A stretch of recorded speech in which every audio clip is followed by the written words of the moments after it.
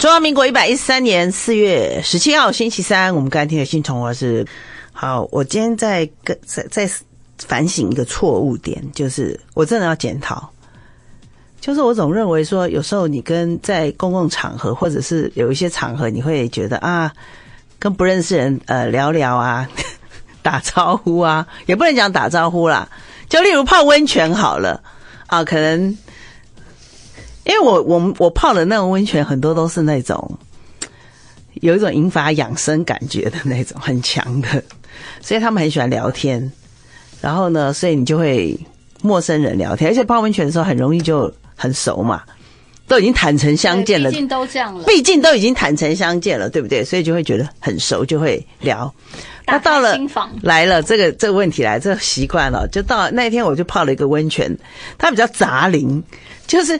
他也有那种美眉，好，然后也有那种呃养生，然后也有上班族，你知道，就是杂龄的，还有那种亲子的课程那么广啊，对嘛？所以，所以我认为是，所以有时候你知道，那个在吹头发的时候，就有一个人，他一直用他自己很会吹，很会吹哦。我觉得他这害我一直看他，我想他可能觉得我非常奇怪。哎，那那那时候没有坦诚相见，是在更衣室了啊。然后我就说啊，你头发吹的好好看哦。我跟你说，他是台，他是中国人啊，台湾人哦，不是外国人哦，完全不理，我非常尴尬，你知道？我是很尴尬，因为这开场白有点可怕啊！真的吗？我觉得他头发吹的很好看啊。如果转头看你的表情，就不会觉得怪怪的。但是如果只是听到这个问句的话，怎么可能没看到？你在他隔壁耶！我就是没有转头看你的表情，就是只听到这个声音的话，会觉得哎，是不是？有点怪怪的，没有，我觉得他极度自恋，专注的吹到，哦，吹风机很大声也有可能，会不会？哦，好吧，你要这样，没有，no no，那个开头的吹风机没什么声音，哪一个开头吹风机也没声音？我也知道有一个第一开头的没什么声音，第一开头的声音很尖，好不好？没有哎，我觉得他没声，哦，那他这个是更高档哦，有可能，对对对，第一开头，但是没有，我觉得听得到哎，因为我连我都听得到声音了。那但是我绝对相信我的声音有大过吹风机，可能就是太大声了。或他也可能以为你只是一个赞美，就是不是要跟他聊天，就哎头发吹真的好好好看哦，一个一个高没有像这样。如如果像你你这样的美眉，对不对？你去泡温泉，或我这样讲说，哎，你头发吹好好看，你会怎么样？我会看一下，你大概会说谢谢，但是不不会真的会说谢谢不会说深聊这样。就可能会说谢谢，或者说哎，还你在说我吗？或者说还好吧，这样子 对嘛？人家起码翻翻这么漂亮，所以看似高傲，可是人家还是亲切的回应。看似没有他生小孩以后就有一点，就那个亲切度又加了百分之八十八了。因为知道实在是。每个人都 不是他，他深知不能得罪欧巴桑，不是，所以先知道世界没有办法顺着自己的意思。对，终于知道什么叫做什么叫做功课了。OK 哈，就是要常常要熬夜写作业这件事情。哎，我我我就发觉说，不是每个人都可以呃回应陌生人给他的一个社交性的问候，不是？我觉得很多人害怕热情，哎，就是很怕很热情的。人事物。哦，对，那比较比较喜欢就是你不要管我，对，宁愿 leave me alone 跟我讲，对对，不要不要理我，就尤其是太热情，对对对。可是像最近我就觉得哦，这个让我检讨了自己。不过我很好奇，我会再问第二次吗？不会，我或者我疯了吗？我已经伸出左脸了，你被打了一个问题，已经被打一巴掌了，我还要再伸出右脸吗？那就真的吹风机啊，那就真的不要脸了，真的。好，就是对，但是但是但是我真的非常，比方说像我们常去泡温泉或什么那个换的那个呃，他们最近很很多都会用那种外籍的攻读生。学生，然后那学生只要上几天课，平常的课程他们都可以来打工，他们都会很亲切问说：“呃，姐姐你很久没有来哦，你懂吗？”嗯，我是非常高兴，因为他不是叫阿姨，很重要。对，但是如果当你可能那个再洗到不久，他又变成阿姨了，我不知道他看到了什么东西，他只要看称呼又改成阿姨了，就是你在他心中。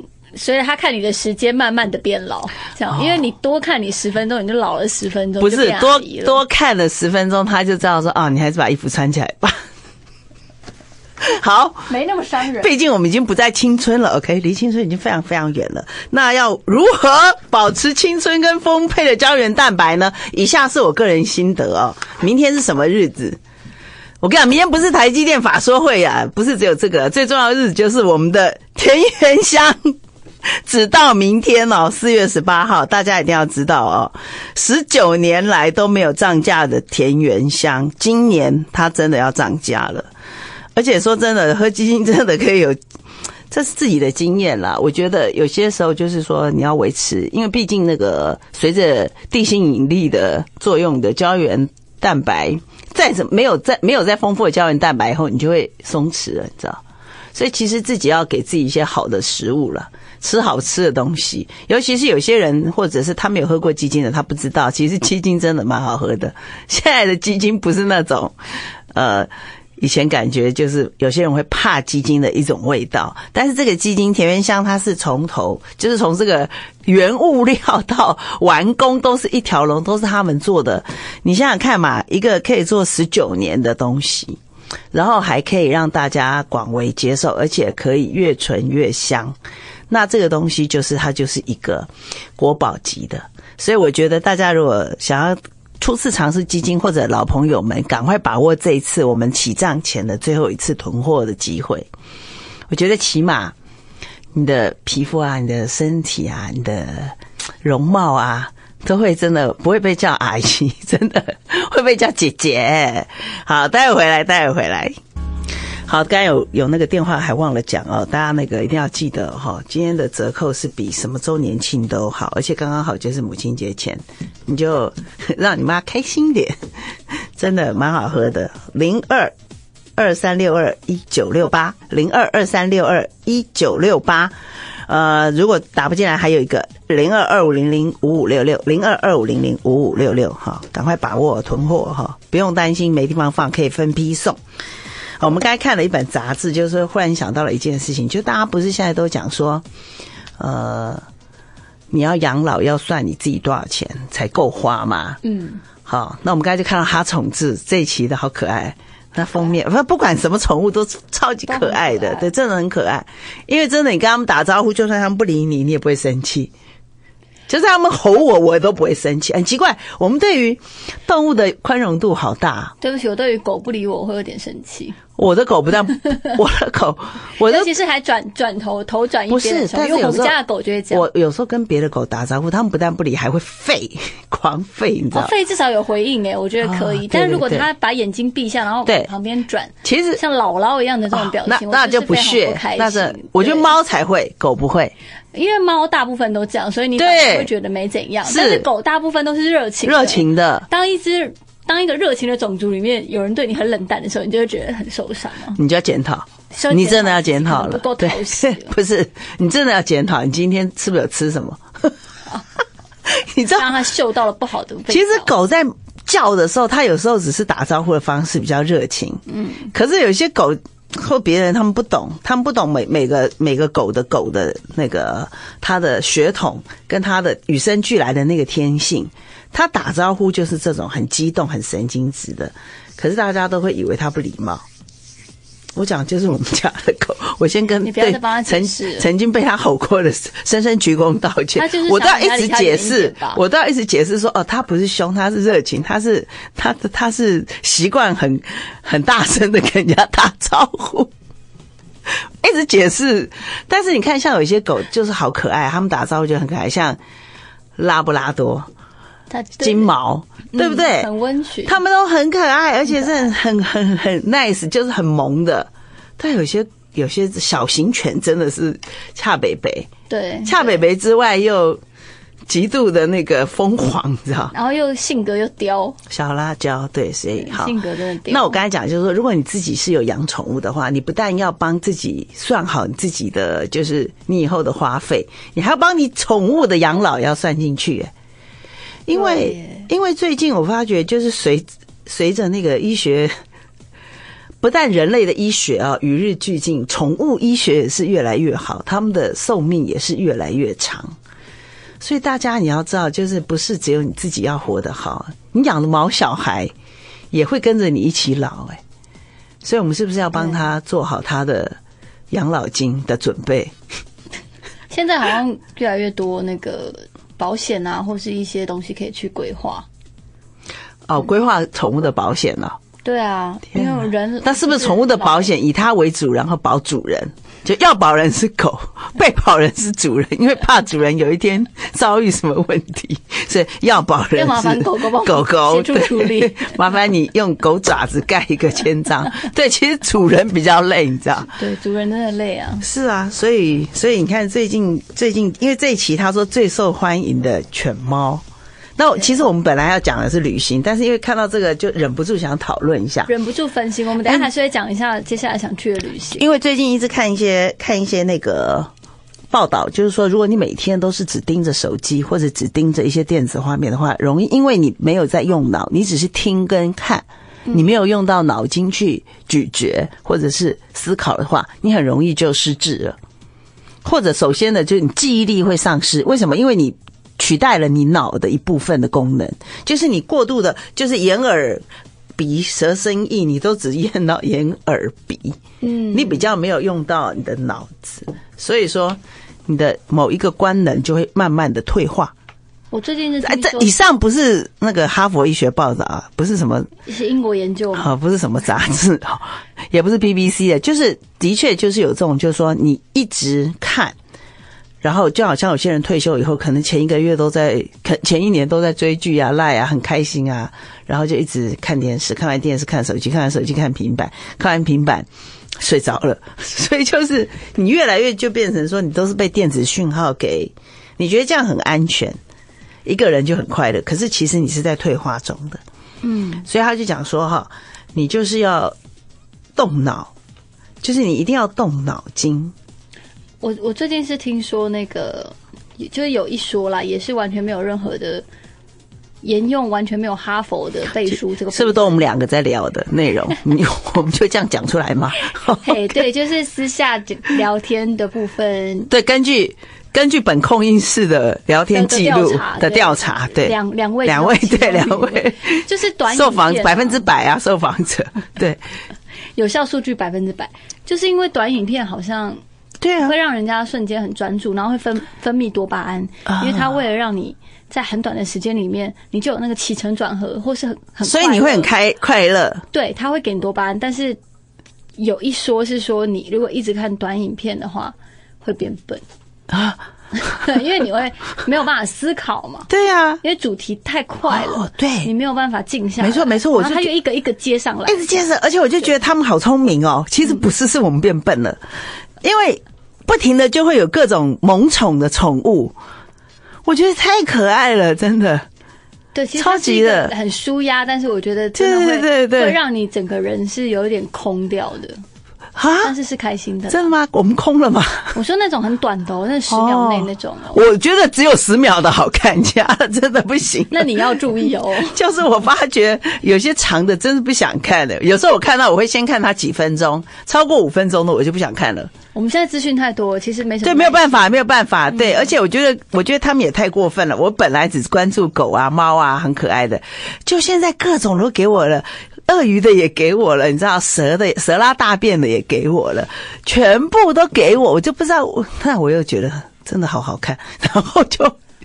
欲罢不能，对，欲罢不能，所以其实我觉得我都必须要断掉，就是因为啊，好，这个时候我觉得太，你实在是已经接受太多太多的这种，不管你看的听的都是，我就觉得要带狗出去玩，嗯，对，所以他是我的运动的唯一的动力。动力，就是他出去，他看不懂，他觉得你为什么一直笑，他都没有看，对，他也看不懂，对啊因，为你一直在吃那个数位零食啊。哦我的短影片就数位很像数垃圾，对，数位数位乐色零食，你真吃的时候好开心哦，很快就可以得到快乐。而且我真的没有吞下去，可是我也胖了，这这才是你可能在荒谬笑的时候吃一点空气进去，多巴胺会胖吗？真的？多巴胺有热量吗？为什么我你说数数位垃圾零食好了，但是我并没有消化、啊，我这样也是肥了耶！天哪，原来光是看都会胖吗？这很恐怖哎。好，我们忍不住要跟大家讨论，就是哈宠志这一期的，就看你家养的有没有上榜。对，就是说杂志已经不是在做校花啊，或者啦啦队哪一队的哪一个一粒两粒啊之类的，而 是什么已经排行了，已经没已经做到就是宠物排行榜了。到底怎么做出来的试调？他也没有问我们两个。有有很多动物医院跟宠物美容中心哦，宠物美容中心，我觉得这个宠有一个工作，我觉得是蛮梦幻的，就是宠物美容。嗯。不是宠物，不是兽医院哦，兽医院很难过的，会有生离死别的，而是宠物美容，都是丑丑的进来，很漂亮的出去，对。以后可能有宠物医美了，对，松好。松的进来，紧紧的出去。就是它变得那个双眼皮，对，或帮他纹眉，我说真的不 确定有没有违反动保，就是你为什么要？不会啊，他们也很开你心啊算是有。攻击到这这这个这这动物，攻击了，没有帮他纹眉，真可爱。好，那来排行榜哦，我们先从那个狗狗狗狗狗开始。狗狗的品种就比较多，第一名还是米克斯，但是只占了百分之二十九趴。为什么会这样讲？因为等一下猫的比例比较悬殊。第二名是贵宾，第三名是腊肠，第四名是马尔济斯，第五名柴犬，再来是吉娃娃、柯基、发豆、博美跟比熊。竟然没有我们家，你们家是米克斯啊？不是，我们家是雪纳瑞，不是，是纯雪纳瑞哦。没有没有。雪纳瑞我觉得也蛮哦哦常雪纳瑞跟约克夏两个神经质的混合。谁比吉娃娃？后来后来他说他没有约克夏，他就是纯种雪纳瑞，就是医生说的。雪纳瑞我也蛮常看到的耶。对啊，他就比柯基，可是问题是我们家的雪纳瑞不是像一般的雪纳瑞，我就觉得奇奇怪，是性格比较刁的雪纳瑞，长得不像。那就有混呐、对啊，就是隔代啦，对，隔代的，长得没有那么老夫子。对你家的没有上榜，对啊，是很吉娃娃沮丧却。有。我为什么米克斯是第一？是养的人最多吧？对啊，对不对？对养的人最多嘛，最最多人所以说并不是他最最受欢迎，而是他养的人最多，所以大数据。养的，但是第二是贵宾，对不对？应该就是他占。假如说你这个医院今天来，可能五只都是米克斯啊，对啊，所以就是其他五只分别不同品种，这样对，也就是最多人养啦，算是最多人养。它没有排付条款。哎、因为因为米克斯真的也忠心耿耿，然后又很善解人意啊，是，绝对没有那种尊贵尊贵的那种傲娇的气息。其我觉得米克斯很可爱，就是我常会接到那种各种小黄讯讯息来，对不对？嗯然后就会说哪里发现什么狗什么狗啊，我都会回应说对不起，我可以付他医疗费，你可以救他起来嘛。可是都没有、很少人回应我，哇，因为我是希望说，如果大他们担心是费用的关系，因为真的是在乡下哦，嗯。好奇怪，真的还是有那种遗弃被遗弃狗的那种事情，常常会听闻，想到小天后上次分享爸爸家爸爸养的，失而复得。对，失而复得回来就是成为真的是。他们家真是那个历经了那个冰火，冰火九重天了，你知道？心情七上又八下对对，真的失而复得，真的很开心。但是我真的不懂为什么有人会遗弃毛小孩，我就看了好难过，我就想说我我要救你啊！就可是好像他们就会。呃，就说呃，刚刚路过哪里看到桥下有什么狗，或者刚刚在哪个店哪个路的附近有看到什么狗，可是他们会写在脸书，但是他们就不会去救。对，因为他会想说等主人去把它领回来。那个一看就不会有主人，怎么会到那种荒郊野外？那是那是感觉是恶意遗弃的。你到荒郊野外，然后你的狗不见，你不会回家，你会在原地找或原地烤肉，赶快叫它回来。对你不会回家，对啊，嗯我觉得很很伤心的，都是因为狗狗很聪明嘛，他们都会认得回家的路，所以每次他们被抛弃都会就是很故意走很远很远，对，然后而且很多狗会在原地等，他会觉得你会回来接他。所以他们就不会走。但是问题是，他们也不会在原地，他会在那附近，对或真的等不到的时候，他就会跑了，就就会找回家的路，就找不到。对啊，这个就是很过分的。请不要，请不要，而且或者你们看到遗弃宠物的时候，可以赶快先把它救起来嘛。一定，我跟你讲，你们不要担心，你们就救起来，送到医院，一定会有人付医药费的，真的。真的不要，很多善良的人，他们没有办法在第一现场救狗，真的是没有办法，因为太远了。有时候你知道，最近地震有很多，阻碍了很多救援行动。然后有很多，所以你要你要知道，就是为什么？我觉得我可以体验那种心情，就大家觉得说，拆除这个要拆除这个跟救毛小孩哪个重要？我觉得不能衡量哎、因为可能没有养过的人不会懂，就是猫狗的命也是命这件事情，对啊，对啊，就是尤其是正中鸡那件事情，对不对？连鸡都很重要啊，所以地震者鸡也是要救的啊、再再跟大家小知识补充，正中鸡是姜太自己擅自帮 那只吊挂鸡，地震中活下来的鸡，我们就叫它正中鸡。我希望对正中鸡从此被赦免了，大家可以祝福他以。为想说为什么正中鸡在台湾？对，不，我们那只鸡叫正中鸡。OK，好，那再来呢，就是猫的排行榜了。猫的话，米克斯就占了百分之七十五，哎，哦，这个比例太高了，对因为我觉得猫比较没有辨识度这么高，它就是小小只的猫。有些人说分不出来。每一个品种都超可爱，但是狗会有体型之分嘛？对。那猫的体型也有分，对，所以我猫分不太出来耶。对，比较没有那么明显，因为狗的品种差一点就差很多，不同品种长相完全不同。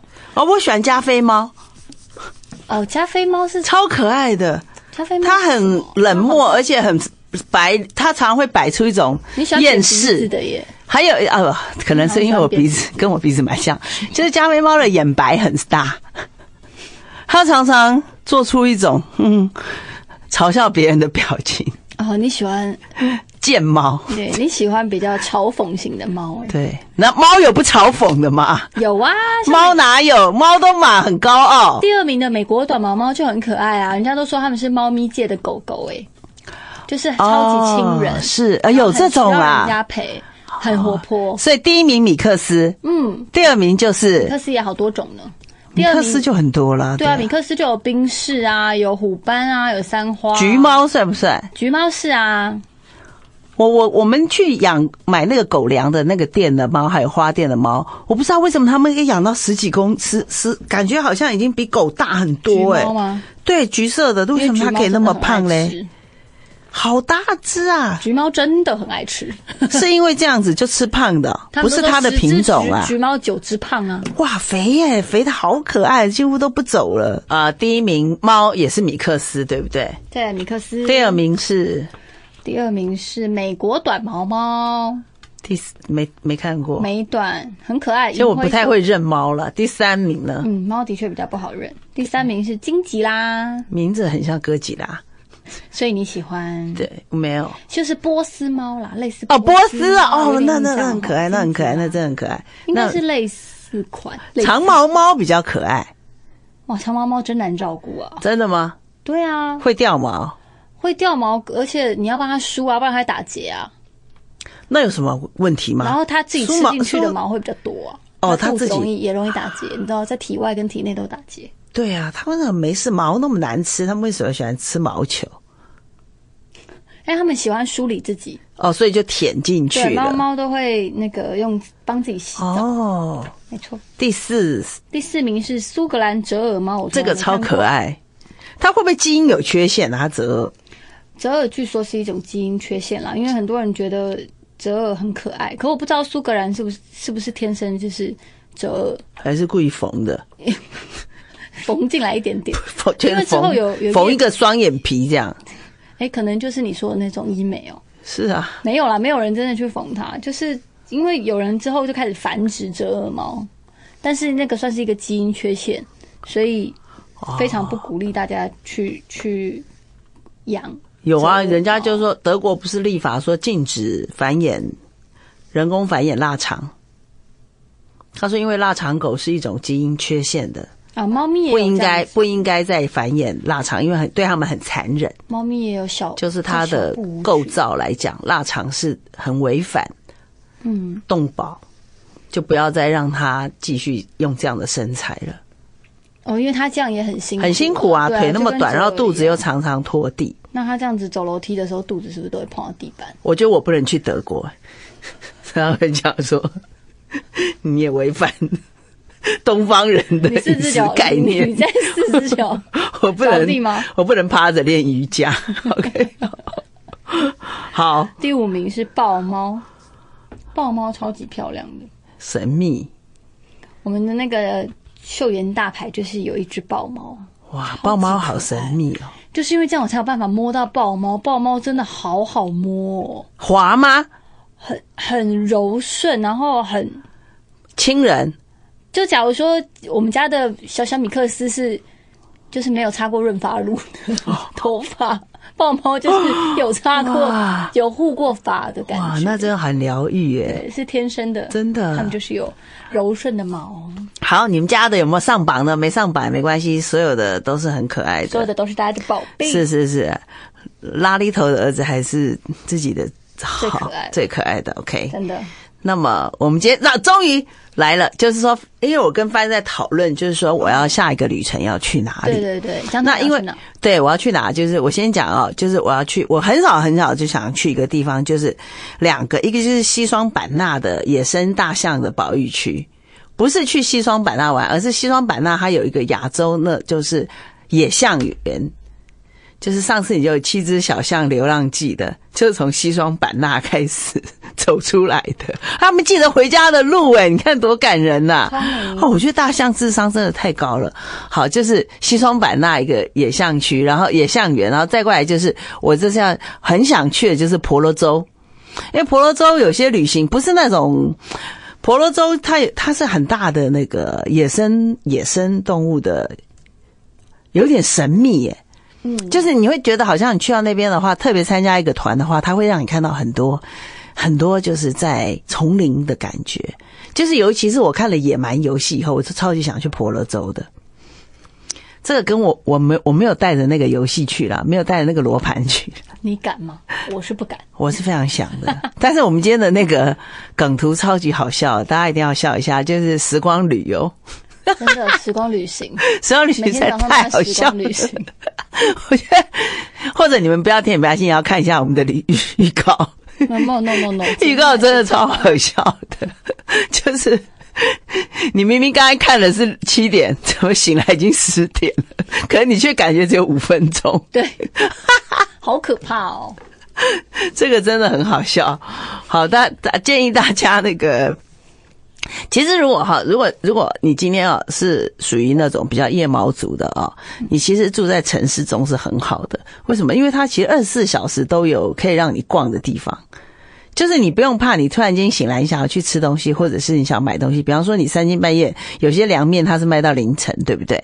然后你可能对凉面正要打烊的时候，隔壁早餐的豆浆店已经就开了，衔接起来了衔接了，完全的饿到你。对对对，就就这么，而且那个人气很旺，对，就是马上就有那种炊烟呐、铿铿锵锵啊，那种火锅火锅火，嗯，我真的很感谢，就是做这种宵夜的人哎、对呀、因为好累哦，想到这么晚还要还要一直工作，没错。很困吗？对我跟你讲，就是哈、就是有时候你会觉得说，像像这样的人哦，对我们一定要用，常常就要用很热情去回应人家，对，因为不然人家不做了，我们怎么办？我们就完了。对我真我真我常常看，到我们那里卖烧饼油条，就看着他老了。嗯，我就好担心说，天哪，他如果走了，就是说他百岁以后，他显然已经八十几了，这是一定有的。对他就是从就八十几了，他还是在在那个早餐店，对不对？嗯，在我来讲，那是宵夜了，但他们可能是早餐了，对。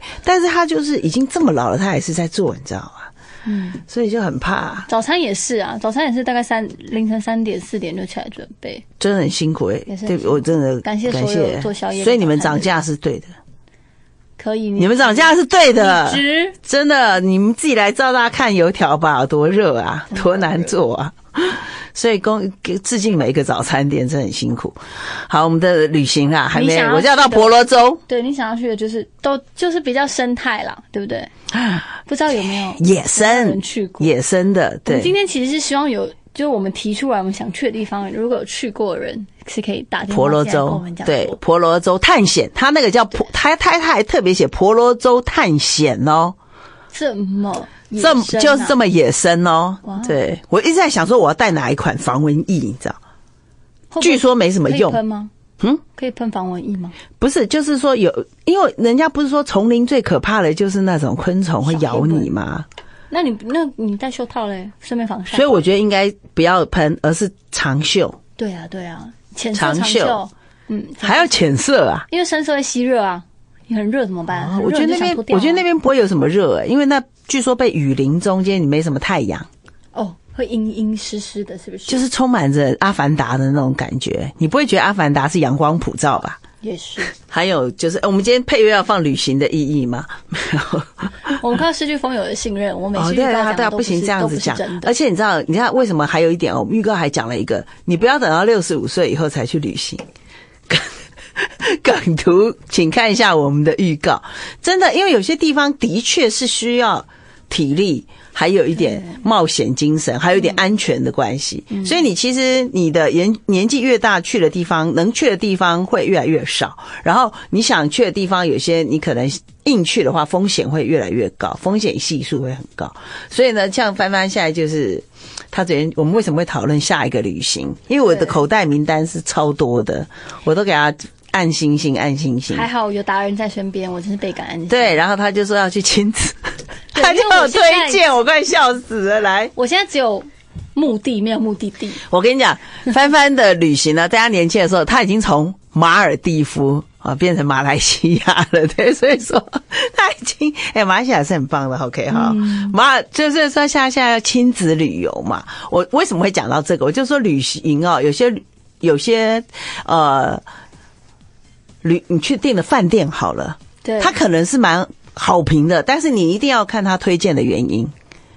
我我非常不喜欢推荐原因，是因为它是亲子饭店。我不知道大家懂不懂这个意思，结果翻翻就一定要 要亲子饭店。一定要亲子，对因为我想要挑战第一次带翻翻 二代出出门玩，对去外面过夜了。你知道吗那只要五星好评的是妈妈，然后拍出好多说哇那个游乐设施安全多样怎么样这？个是反指标啊，我一定因为他有我一定会给他避开。避开，就是千万不能去这一家亲子型的。我觉得亲子的东西都有点排挤效应，亲子餐厅也是。对，其实一般人都不喜欢去亲子餐厅，不是第一个，就是说它的包容度很大。还有亲子餐厅强调的是亲子的时候，它的食物不好吃，你不能这么说，有一些可能还不好。吃，那你觉得宠物餐厅呢？根本不能吃。哦，宠物餐厅完全只是为了讨好宠物，完全不能吃提。供一个好的环境，对对，友善。那对了，对不起，因为我并不是以那种我我的嘴巴其实是跟一般人不一样的。就跟你们家的狗狗一样，非常对，但是他超讨厌宠物餐厅，怕的要死。因为他不喜欢别的狗，对不对？不是他根本不觉得，他觉得狗很可怕，因为他觉得它是人嘛。啊，所以他跟对他从来就不觉得他是狗嘛，所以他会怕的不得了，他觉得怎么那么多怪怪一直对他叫的东西，所以他就会觉得非常害怕。真想叫他撒泡尿照照镜子。对他觉得为什么一直对我，他对着他叫，所以他很怕。但是亲子饭店是我的，我绝对不会去。但是我马上就推荐好几家亲子，对啊，因为在你的避免名单里对面，所以有点印象。我的地雷名单里面就是亲子要避开。但是你说你一定要亲子，对不对？对，而且我原本有在想旅程地点，我原本在想说。呃，其实应该要从近的开始嘛，就是应该要从桃竹苗开始。对，因为我因为因为因为发现已经说那个地方不能再去了，因为大家就觉得说哦后后花园，我觉得后花园真的不要，因为第一车程会塞车，会占据你很多的时间，对，而且那边的食物番也吃腻了，逢年过节就回去。对，所以所以所以我就说往西滨走，往西滨就往西部往西，对对对。对，那应该就是应该，其实要去桃竹苗啦。可是对啊我自己心心中想去的就是台中或嘉义啊，嗯因为每个人旅行都会有一个原因嘛。我通常都是跟吃有关。你要去嘉义南那故宫南院哦，当然不是，我没那么有气质，我不旅读，还是你是想吃鸡肉饭吗？我不旅读的编辑。我想去你吃，你是燕玲或令令鱼吗？OK，你是想吃鸡肉饭吗？鸡肉饭那家的那个蛋包汤还是什么的、啊，然后还有吃鲜科啊，就虽然说鲜科前一阵子一直出事，我上次因为被带路呢，就说被那个鸡肉饭达人带路，然后嗯。就他就说哦，一路走有好多家，就是因为反正家有有一条那种路嘛，哈就叫我用走的，就回来就肌腱炎了。我真的完全，我有印象里上次说你走了对很远，我真的不能再忍受了，骗人啊！对对，我反正我是因为想吃，所以想要去嘉义。不用了，然后嘉义我也没有去因，为你现在带小孩，你不可能那个，不可能畅快吃，对不对？所以你看，人生能够自由旅游的时间是多么少啊！请各位还没生小孩的好好赶快去去走那个要走小孩长大了也可以把握。没错，你没生小孩要走朝圣之路，赶快先去，因为那个要六十天吧，至少三十天之类的。绝对不能六十岁的时候好去。，那你看一下，而且你看，你有长时间是为了要配合小孩，你也不能去小孩不宜去的地方。对所以你能旅游的时候，不就是几年而已吗要好好把握。像现在他就偏重亲子，但是 OK 啊，我还是帮他设计了一个亲子游，而且就是那几年我都在宅，我真的是我真的是不对，你错了吧？对我很很所以我我很后悔。所以不过是因为有小孩，我才会想要出门哎、这倒是。哦，对，因为他本来只是就是隔壁的便利商店，在过马路他都觉得远。我就是那个不能过马路的在地图上这样画一圈这个范围内，我喜欢或是通勤。不过总之我就是问了姜太，我一个意兴阑珊的问他，就是当地人，我很抱歉，我先说是新竹，对，我说新竹好，超好，好玩吗？非常好玩。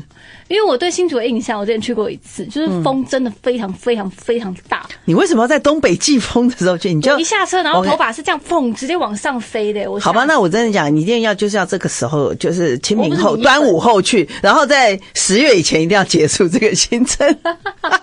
它有一个适合的季节，它有适合的季节，而且这个时候去安全度最高嘛。第一个，它嗯天气不会太变化太大。然后又有两天一夜可以。对，所以你就要去新竹。为什么新竹很好？好，我们今天不要讲新竹市好了啦。新竹市，因为我实在太喜欢了嘛。那你看，你你可以去新竹市的动物园，它是非常古老的动物园，而且很小巧。而且说一句实话，它太亲子了，它几乎不算是动物园了。